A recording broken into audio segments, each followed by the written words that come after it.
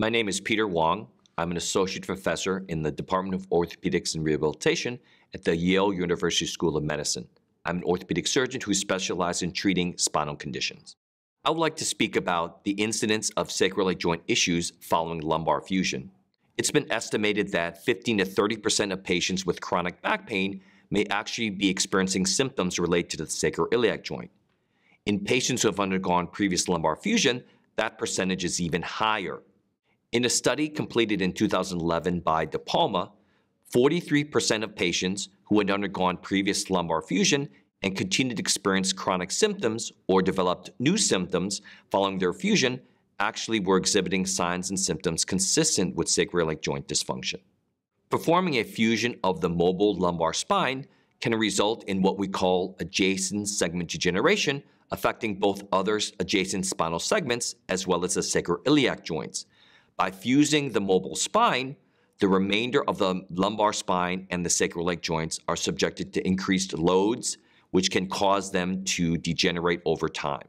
As a result of these increased loads, the lumbar spine and the sacroiliac joints can develop progressive degeneration, resulting in increased pain or new symptoms following their lumbar fusion.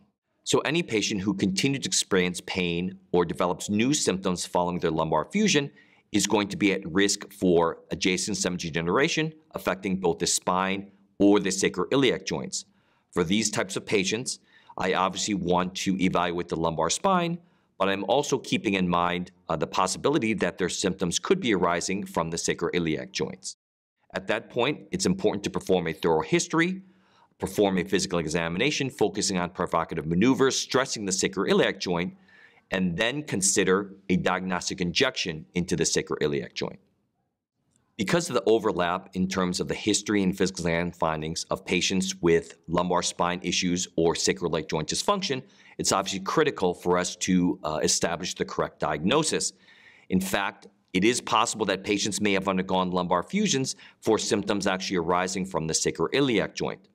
The challenge is that many of these patients may have issues related to both the lumbar spine as well as the sacroiliac joints. For patients who develop new symptoms following a lumbar fusion, it is possible that because of adjacent segment degeneration, they may be developing issues with their sacroiliac joints, which could account for these new types of symptoms.